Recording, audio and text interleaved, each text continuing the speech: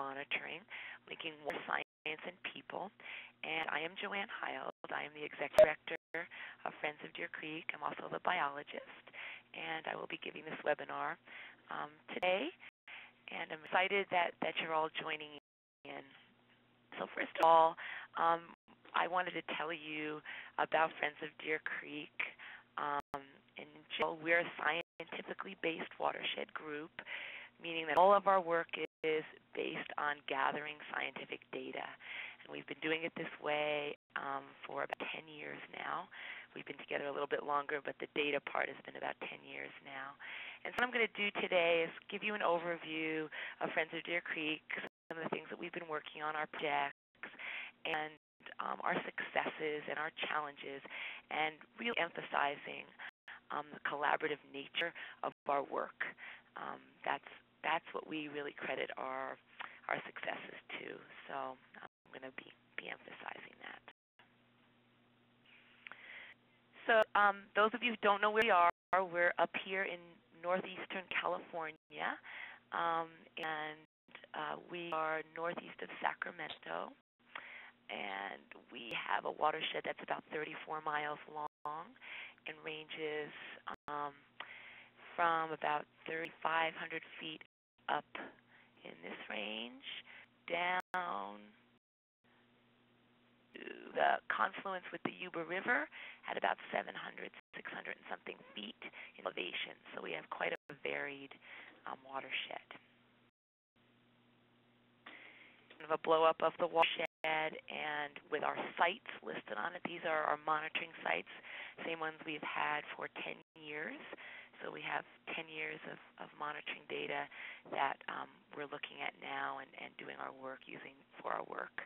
Again, you can see we have a North Fork and a South Fork that come together at Site 1, and then we have some really interesting features in our watershed like um, a, a dammed reservoir here, and then we have um, the town of Nevada City that has impacts.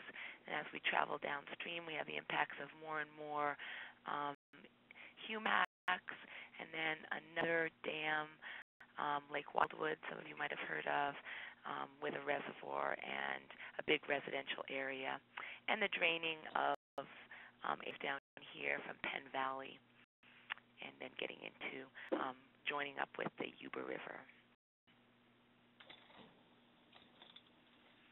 So these are some of the things that I'm going to be going over with you in a little bit more detail. Here are some of our major accomplishments over the last 10 to 12 years.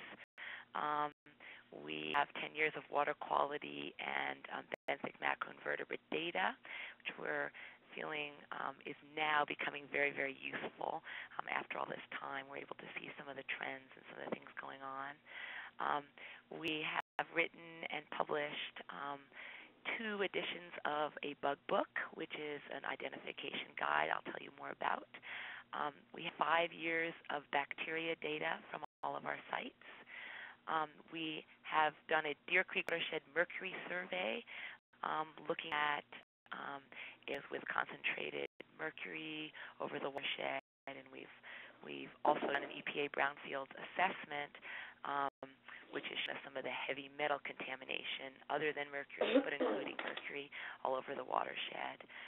Um, we have been involved in a restoration project for most of those 10 years. So we started about eight years ago and is continuing. We're seeing some results of that now. Um, we have started doing a trail along Deer Creek, an eight mile loop, and it's along with um, a bunch of restoration work. And um, we have completed a CRIMP and a coordinated resource, ma- resource management plan with lots of stakeholders um, in the watershed and have been working under QAPP uh, with the state all of these years and much wrote the model um, that, that is being used now. Um, and um, all these things and more are collaborations with um, many, many different groups, state, federal, local, um, and project partners. Of course, challenges, many of them. Um, Deer Creek has um, extensive mining legacy, which I'll get into with, with some of our data, and um, that has that has lots and lots of challenges. Um, in many ways. Um, we have water management and diversions in watershed and inv- invasive species, many of those. Of course, and development increasing as we go downstream, so we're able to see how, how that impacts many, many, many things in our watershed. Uh, we have two wastewater treatment plants um, below, well, uh, quite a few a mile or mile or so below the first reservoir I showed you, and then right above, I mean right below this, the Lake Wildwood Reservoir, and the second second one downstream. We have forest management and logging, excessive nutrient loading, um, bacteria contamination all through the watershed, and we have some private landowner issues um, that are popping up all the time, which I'll mention along the way. So um, all along here, we have been doing this citizen-based water quality monitoring. So science-based, so we are able to um, train our monitors and um, with all of our protocols and for all these things that are listed here on your screen. Um, and go out monthly. They have their own sites.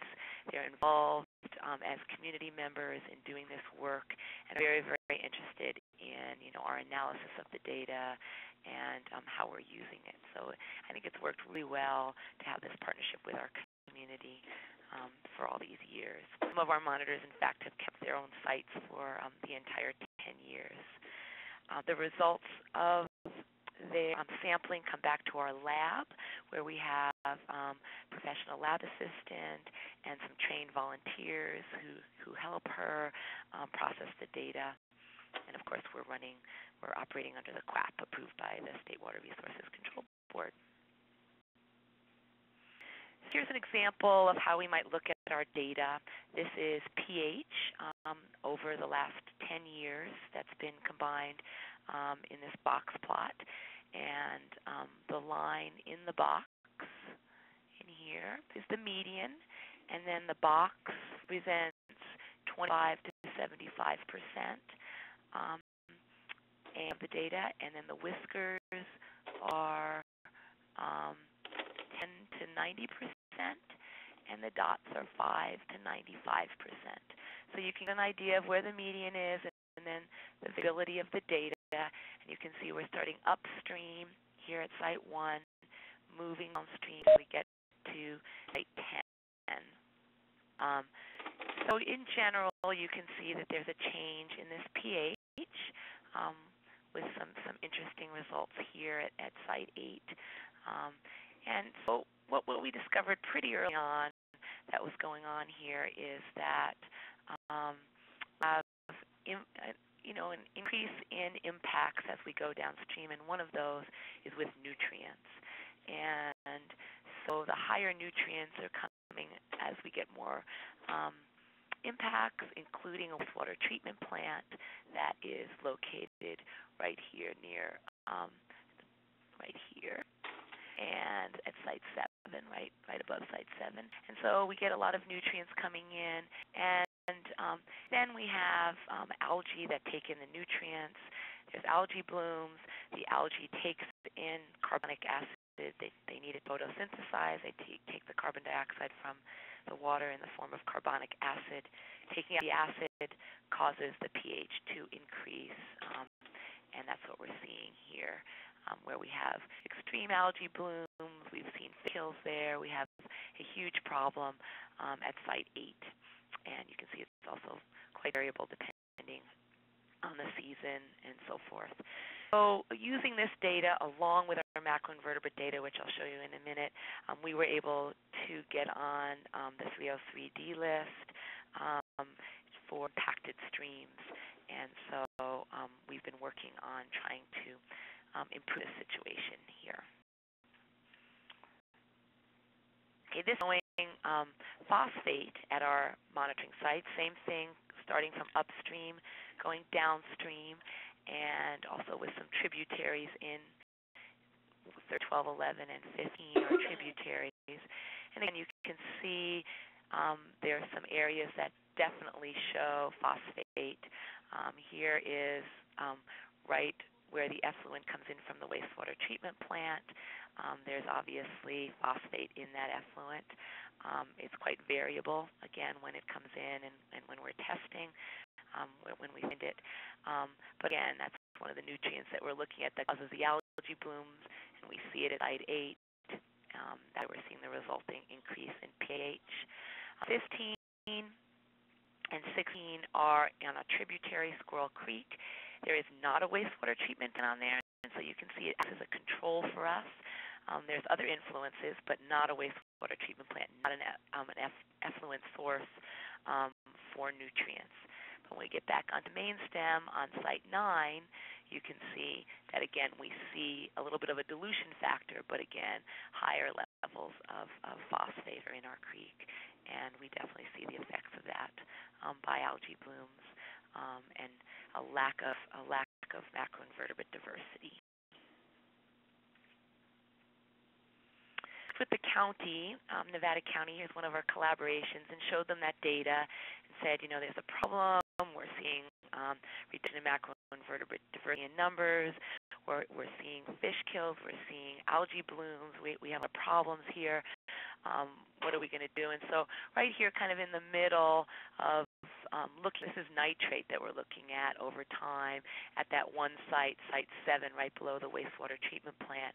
Right about here in time, they did actually install some equipment at the wastewater treatment plant um, at our urging and because of our somewhat because of our data to reduce um, the nitrate amounts. And um, this is the, the graph after they have installed that equipment, and we are yet to see a reduction in the in the nitrates. It's still a very steep curve here. Whoops, didn't mean to do that. A very steep curve here, um, in you know increases through time with the, the nitrates. So we have not yet seen um, an improvement due to the equipment. I don't know if it's not functioning right or or what's going on yet. So um, we're still hopeful that um, improvements will be made so that we will not get some of these nutrients put in um, at that Site 7 where the uh, wastewater treatment plant is. So we've also been doing our macroinvertebrate studies um, for these past 10 years and at all of our sites, well, not all of our sites, a few sites we haven't, about 10 out of our 15 sites. We're adding a few more now. And um, we're very, very excited about our macroinvertebrate program. Along with water quality monitoring, I think it tells us a lot of information about the health of our um, our watershed because these are the guys that are living in there, and so they they take in cues from all sorts of things that we can't even think about. So we have our volunteers out there. They've been trained. Um, we were trained um, through the SWAMP protocol by Jim Harrington um, 10 years ago, and so we've been going out ever since then, two times a year for our 10 sites, and we look at numbers and diversity. And as you can tell by this woman's face, we have a lot of fun doing it. It's really um, a great thing for all of our volunteers, all of our citizen monitors to get in there and, and see what lives in there. And um, it's, it's quite exciting. It's a whole different experience um, to have living organisms. Our conference room and office was um, turned into a lab, and that was done by volunteers. And so we have lab tables that were built. Um, I found these wonderful microscopes on eBay, also the, the lights. And so we have um, very good equipment that we were able to buy for not very expensive amount of money. Um, and um, we have sessions in our lab every Wednesday morning and every other Wednesday night with um, our volunteer um, macroinvert specialist, Sandy. And we get in there and we look at our samples, count them, identify them, and we've been doing that um, for 10 years. And a lot of our a lot of our monitors, our ideas, are, have been with us all that time, and so they're getting quite good. They've been experts. Um, we haven't, we wouldn't have been able to do any of this without um, our professional taxonomists that have helped us. I happen to have a friend who's a taxonomist and been, has been doing this for many, many years, and she, um, uh, Susan McCormick, really got us going and taught us everything that we know about about ID, along with Wayne Fields. Um, so now we're feeling like um, we ought to share because we've learned so much through the years about how to do this as a citizen monitoring group, how to ID down to the family level, and um, and keep this together. We decided that we wanted to share, and one way to do that was to produce this book that I mentioned earlier. Um, we just this week um, have received the second edition of, of our bug book in our office and um, we are selling it for $95.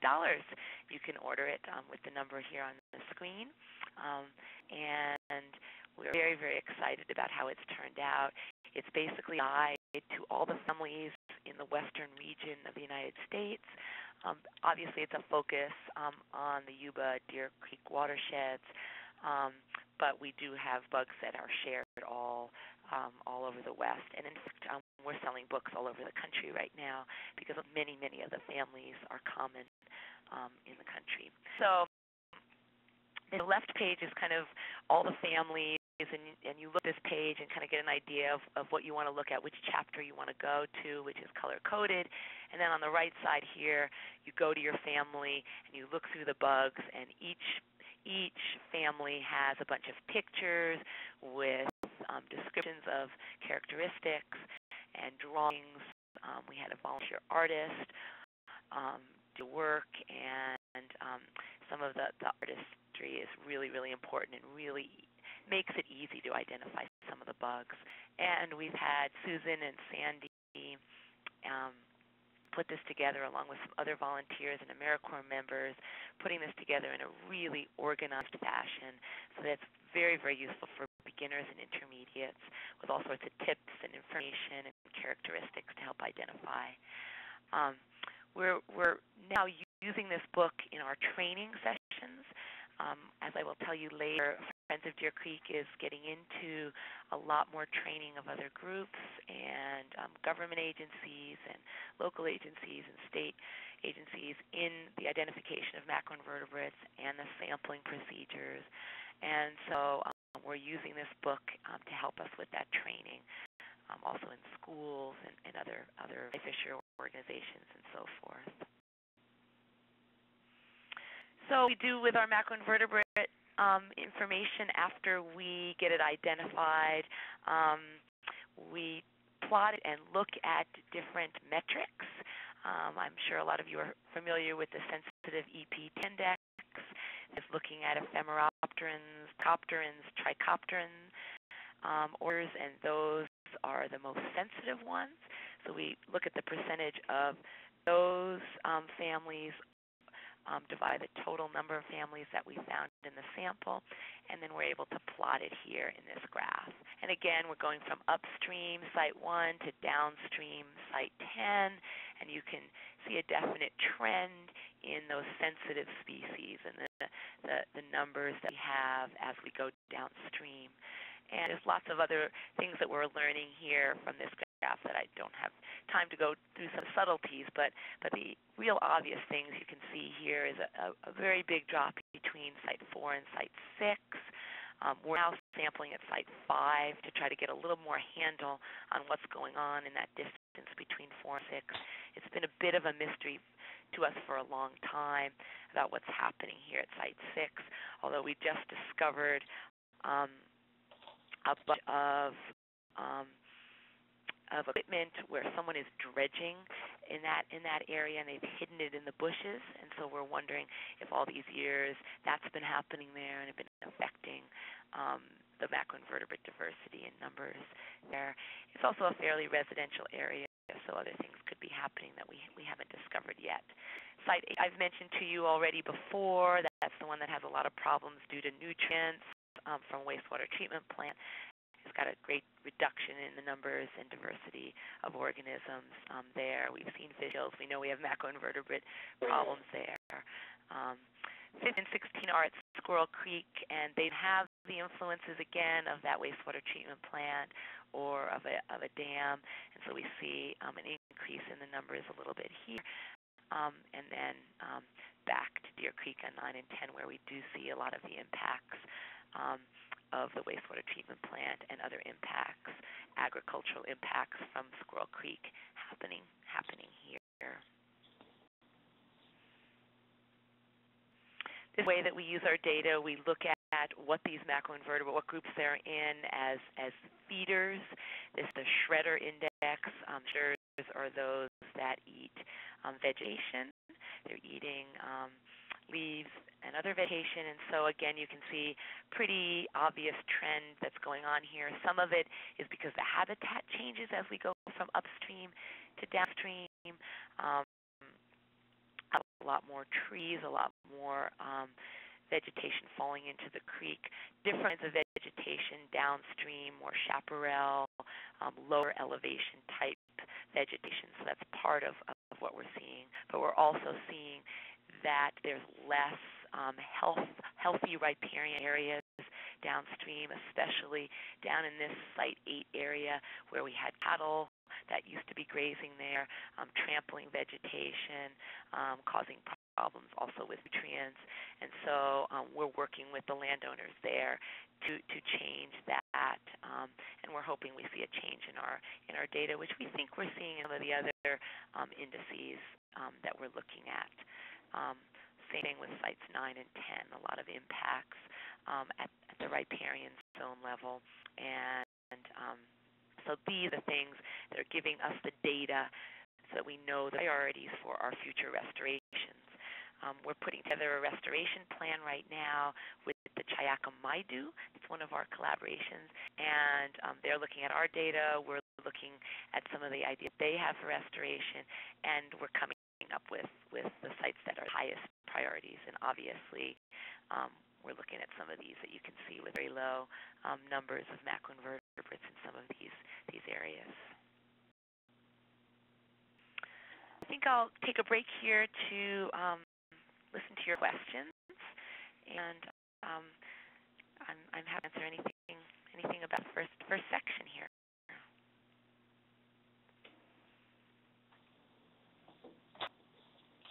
At least I know whether it's working or not. Anyone have a question? I actually I have a question. Oh, good. Um, this is Noelle from the Watsonville Wetlands Watch.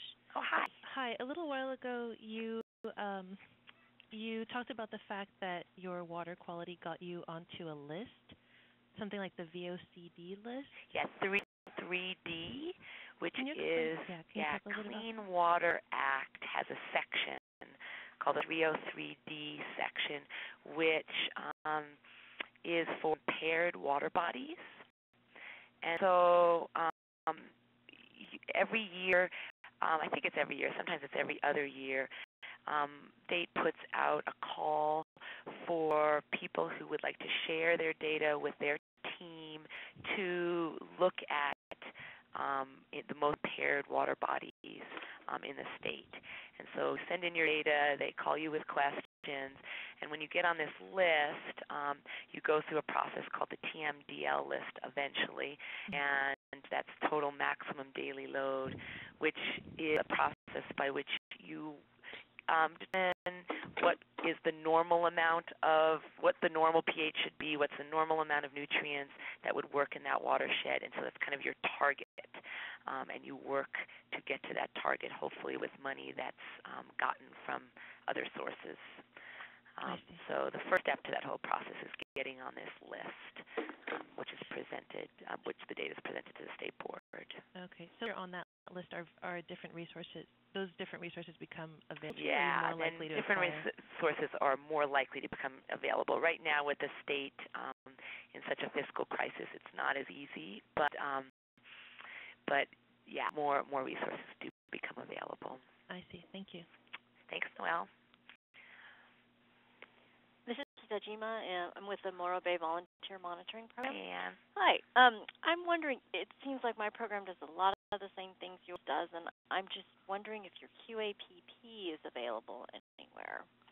Um, yeah, that should be. I mean, I could definitely um, send that to you easily, but I think it also should be available. Eric might be able to answer this question better than I can um, on the the SWAMP um, uh, website. I would think that um, we have the state board's QAMP and our guidance documents.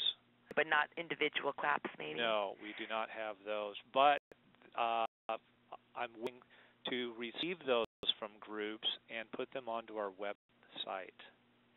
Or and, or and if you would like to just you know send me an email. I'm going to have my email address at the end here. It's just lan at friendsofdeercreek.org. Um, I'd be happy to send it to you. Perfect. Thank you. Uh, I'd also like to let everybody know solicitation for the 2012 303 list has been out. So we're already inviting folks to submit data for the next 303D revision. And you know, um, anything that I talk about in this in this webinar, I'm happy to talk um, one-on-one with any of the participants, anybody that wants to. Um, if you want to give us a call, email me. Um, I will be happy to talk more about our process for the 303D listing. It was it was quite a uh, amazing process actually, and um, affirming about our data because there's a lot of questions asked about them, and it, it helps. It would maybe would help you to to hear some of those those things that we went through to get your data up to up to par and, and so forth before before you get onto that list or try to get onto that list. So always always happy to talk to you about about any of this. So please please contact me. Any other questions? Lan, Yeah. uh, this is Beverly. I Who is this?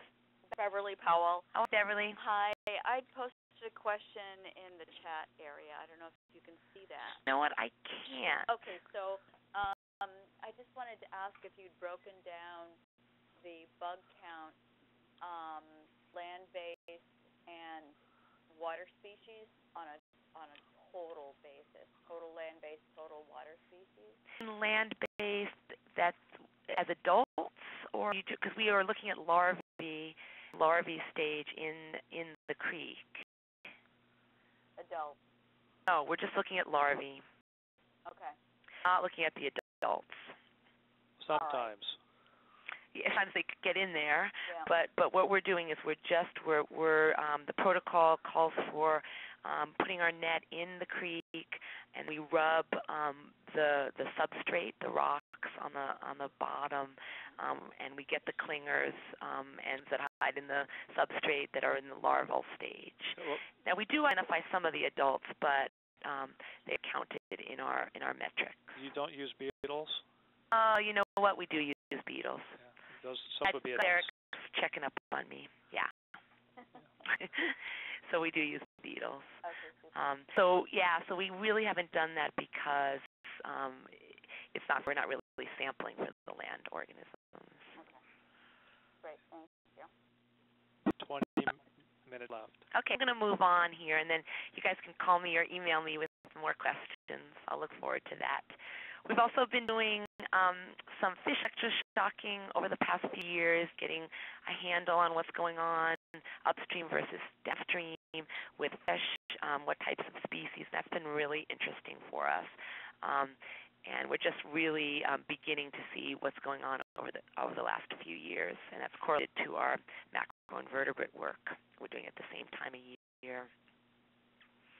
One of the things that we're getting more and more into is bacteria um, work, and um, we were lucky enough to be able to purchase an IDEXX, um, sealer so that we could do um, bacterial bacterial sampling um, and, I, and analysis um, more easily and, and more cheaply. So we are looking at E. coli in all of our sites, and we have our monitors go out and take sample water samples and bring them back to the lab, and then we go through this process of sealing the um, the whole thing through this this process, and then um, identifying the amount of E. coli at each of our sites.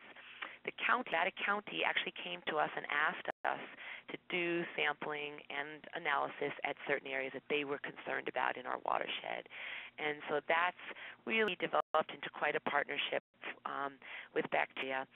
Um, and this is kind of what we're, we're finding out. Again, upstream to downstream, we're finding this is the percentage of samples that have been exceeding the U.S. EPA single sample maximum standard um, for E. coli. This is during the summer. So anything that's you know showing a red box here has gone really over what what it should be um, in that area of the creek. So you can see that um, you know 40% of the time it's over the standard, 20% of the time it's going over that standard. That's a little a little scary that we're seeing that in so many sites in, in Deer Creek. It's very very hard to figure out why. But then there's this one, site 15, which is you know over 70% of the time in this summer summertime showing an exceedance. And so we've been working really hard with the county to um, put postings because it's a swimming hole there um, to try to figure out what's going on um, in this area. And um, we've come to to think is that there um, is a lot of ag, um, agricultural things, cattle, um, goats upstream from there, and so we're thinking that they're getting into the creek, um, and when they defecate into the creek, the E. coli gets in there. And so we're applying for money right now um, to be to work with the um, farmers were wanting to work with the RCD, Agricultural Commission, to work them to try to figure out the best way to reduce um, uh, the cattle, the amount of time that the cattle get into the into the fields, and the amount of runoff that's coming off of the lands into the creek. So we're excited to start that collaboration really, really soon. Um, and again, we collaborate with the county to get some swimming advisories up, and we're going to do that in a few, few other places too, uh, if, they, if we see if we continue to see these problems. Also, do a lot of algae work, which we have been doing for a while. Um, we've been looking at algae mass, the amount of algae, for about five years now, and um, we're just about to start an identification um, RAM, and we're very, very excited about that because then we're going to get to find out a little bit more about the types of algae that we have, um, maybe look at some native versus non-native um, questions that we have, and also um, understand um, you know more about the health along with the macroinvertebrates knowing what types of algae you have and the sensitive whether the sensitive species are there will tell us a lot more um, about what's going on at all of our sites. So again, I'll be quick here. Um, we're seeing when we look at algae mass over time, these box plots. Here's the mean here. We have a problem at sites eight and nine. Those are getting familiar, like familiar um, sites to all of you by now. Um, as I told you before, because we have nutrients from the wastewater treatment plant, and it's causing these algae blooms. It's nice to see a consistency in our data. Um, um, with these measurements. Um, now we've just got to work with the county to get this this changed. Um, we also have been working with the county on control measures, so we're not getting as much nutrient flow off of the lands, and hopefully we're going to be able to work with some of the local realtors that these things, these erosion control measures will be handed out to people when they purchase property um, so they can learn from the very beginning how to best take care of their environment. I mentioned mining legacy on Deer Creek. It's huge. Um, it happened 150 years ago, but we're still seeing many, many of the effects, and a lot of our projects are related to this. Do storm sampling. We have money right now to do storm sampling where we're collecting, we're grabbing um, samples. We also have an auto sampler where um, we can get samples during storms. This last set of storms um, was wonderful. We got a lot of data. Um, we're looking at how um, mercury is traveling downstream during these storms and how it gets attached possibly to sediment, algae complexes. Not only travels downstream but travels over dams used to be thought that you know dams would be you know would be stopping this mercury from getting down into the delta. Well, um, our preliminary data is is screaming out that that's not the, that's not the case. Um, we're seeing it traveling over the dams, and um, I think this last storm, after we analyze it, will really show us some of the uh, results um, uh, looking the same. Here is a graph showing um, some of that. Um, this is last year's algae over the dam um, data showing um, the mercury concentration going with the increases in suspended solids, and we're seeing that um, the cherries have some higher sediment levels. They also have some of the highest levels of mercury concentration. Um, and that's kind of consistent with some of other studies with mercury that it hasn't kind of washed out of those those areas yet from the mining times, um, and so we're seeing that it's still coming down those tributaries, being washed down down the creek, possibly always attached or often attached to sediment and and algae. Okay, since about any of that. Um, stuff. We'll have to make it brief since I don't have very much time. But if anyone has a, a quick question, I can answer that.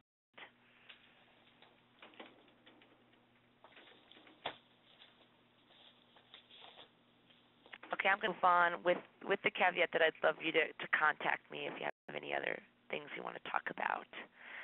Um, we're also doing other heavy metal contamination studies also related to the mining times, so looking at arsenic and lead, um, cadmium, and other heavy metal contamination in some of these waste rock piles, some of these hot spots along the creek. And um, we've been with the regional board. They've given us some um, sampling um, uh, money to, to do some of these samples. We've also had partnerships with BLM and USGS to sample some of the macroinvertebrates um, and fish to see how much of this mercury, um, how much of the mercury possibly other other heavy metals also we haven't tested for that yet but mercury is getting into the food chain and um, so that's been really really interesting. Methyl mercury meaning that it's gotten into the food chain this is how much we're finding in um, in macroinvertebrates. And I don't have time to go over too much of the details here but um, we're seeing that um, that there is um, mercury, getting methyl mercury that is being recorded in some of our sites. Some of it's quite high, and um, that is in the macroinvertebrate population. So we know when the fish eat the macroinvertebrates, it's getting in there, and then when humans eat the fish, um, we're we're also definitely going to going to see that um, that could be a problem. So we're we're part of that we're part of that uh, food chain and we um, see um, six again, and then in Lake Wildwood, we're seeing high levels of methyl mercury in fish. So the next level on the food chain. At Lake Wildwood, we know um, in reservoirs where we have um, less oxygen, deoxygenated conditions, um, mercury turns into methyl mercury at a more rapid rate. Might require those circumstances to happen.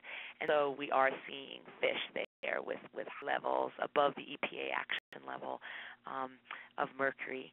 And so we're working with Lake Wildwood, um, the Lake Committee there, to um, think about what we want to do um, to remedy and to warn people. They have a sign now um, down below the dam for fishermen that might be taking fish out of the lake, out of the reservoir um, have some money from EPA to do um, a brownfield study. This is about lead. We looked at five different sites, um, and we did find some of these other heavy metal contaminants in different areas along Deer Creek. This is at Providence Mine, um, where we found high levels of lead in red here um, a part of trail that we're going to be putting in. So that was very, very interesting information um, for moving the trail a little bit and um, not exposing people to um, some of the lead. It'll give us an opportunity to do some um, signage to talk about our mining legacy and, and talk about how long and what happens to these um, these heavy metals over the years, how long they, they stay around. Um, so we also will see it as an educational opportunity. Also for the schools, um, we've been taking them out um, to these areas um, to teach them about the long-term effects. And those school children um, helping us get some of the non-native ivy out of the tree, um, and they're helping us with many aspects of our restoration along this tribute trail that we are now building along with American Rivers and the Nevada County Land Trust um, and the city and the county. We're all partnering um, to this together. And it'll be an eight mile loop, again, as I, I mentioned before, with a lot of restoration along it, um, revegetating, taking out non natives, putting in natives, educating our community, and a lot of um, school groups um, and classes to come out and help us um, with with aspects of it. We've already done some really really neat projects with them, um, trying to outcompete some of the non-native um, blackberry by planting some willows, um, and they were quite enthusiastic helpers. Here's um, part of our restoration, and this is um, work that American Rivers is leading along the trail. And there was quite a big berm on one of the areas you can see over here on to the right that was preventing the creek from accessing its floodplain.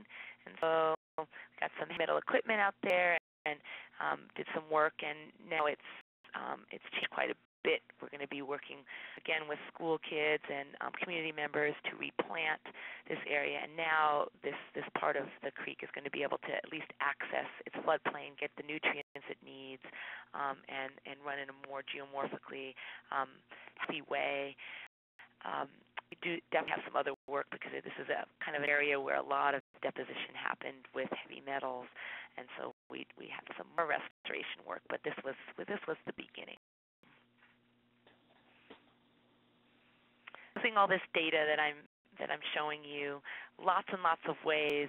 Um, as I told you about the 303D list, we're definitely using the data to um, to share with the state and, and talk about and try to figure out how to get out of the impaired listing for various things like pH. Restoration sites, we look at our data, we choose the ones that are the most impacted. Also for evaluating the success of our restorations. you know, it's really to monitor before, during, and after for many, many years and see what happens.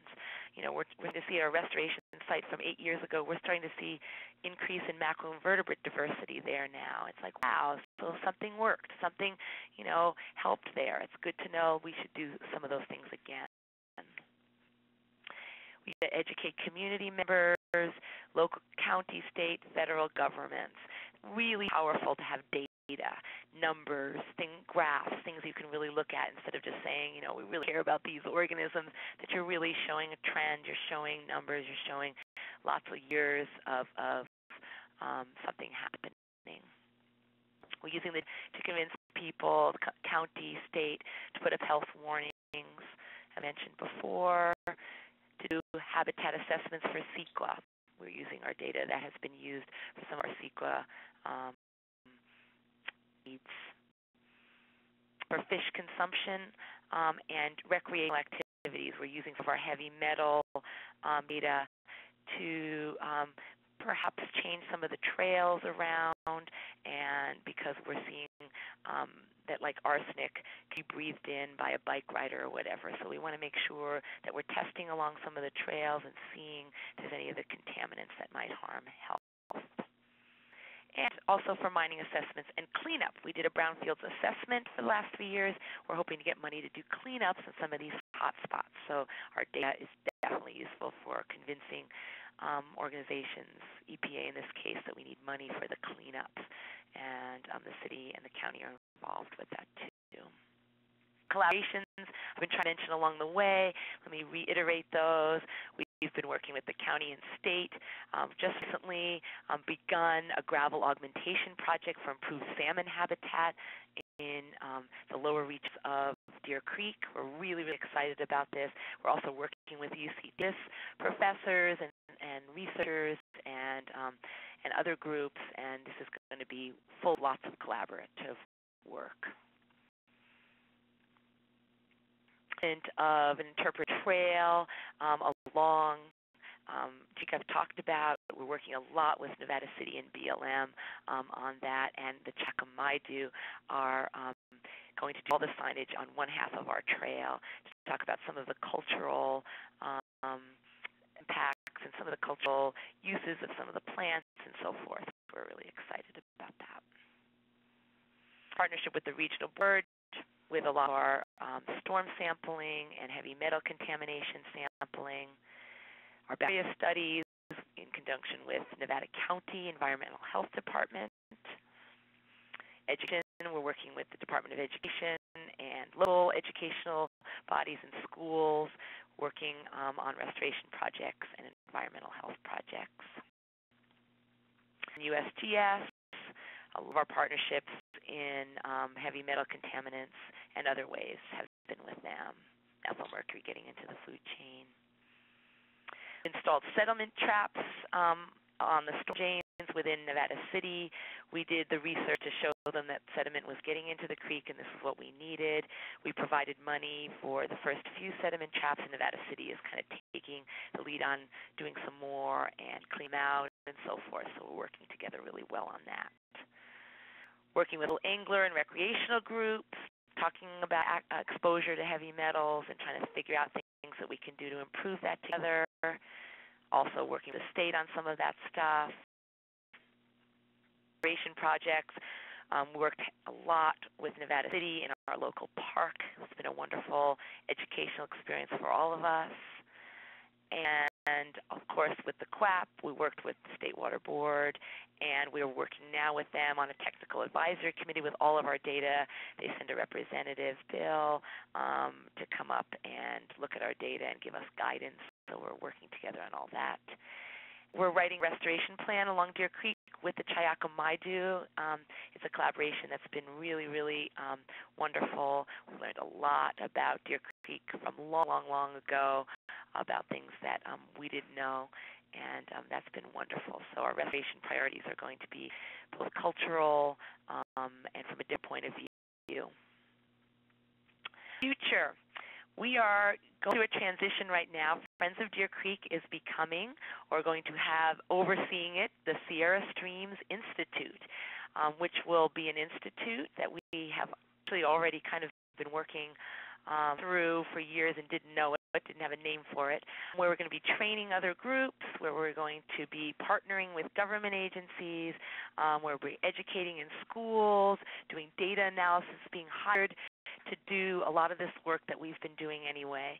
Um, and so we're going to get away from always depending on um, grants to do our work and getting some of it fun- funded by, by doing our lab work for other, other groups and government agencies, doing training, um, and having consultants that come out and help um, all sorts of groups. So doing consulting, laboratory work, field studies, and education and outreach. Um, I will be hopefully sometime soon doing another webinar to to tell you more about the Sierra Streams Institute and some of our our ideas. Um, but you're welcome to let me know through my website, um, through my email, and, or phone number if you're interested in anything in particular, and and if you have any questions about Sierra Streams Institute. But more information will be coming soon, I promise. So I don't know if we have any time, Eric, but I'd love to answer any more questions if. You just um, we have a few minutes. Okay. Does anyone have any questions?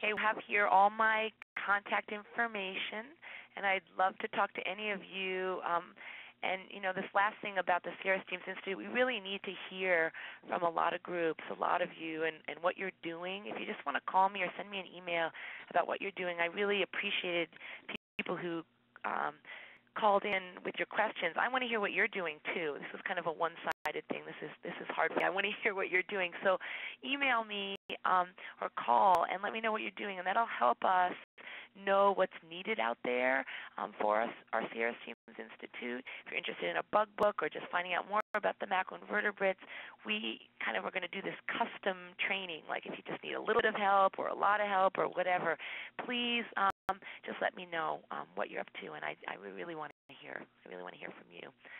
So thank you very much for for tuning in.